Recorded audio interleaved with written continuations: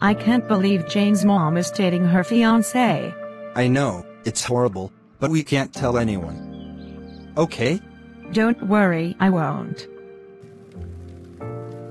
Hey love, I'm home. Wow, I was not expecting to see you so soon. Well, I wanted to come home early.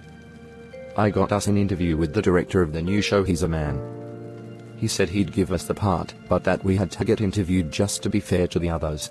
That's amazing. Where would we be filming? That's the best part, it's in Australia. Oh, Aren't you happy? it would be an amazing experience, but I can't stand you anymore. What do you mean? I don't love you, I never will.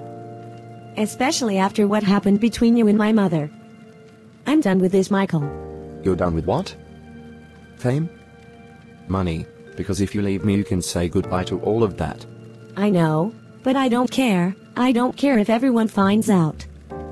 If it means I can be happy, then so be it. You can't do this to me, Jane. Oh, but I can, and I am. Bye, Michael.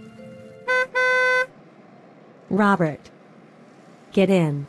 What are you doing, Jane? Someone might see us. Well, then get in the car. I have to tell you something. What's so urgent that you had to come all the way to my work? I broke up with Michael. You did? When? Right now, he got home and I broke up with him. Now we can be together.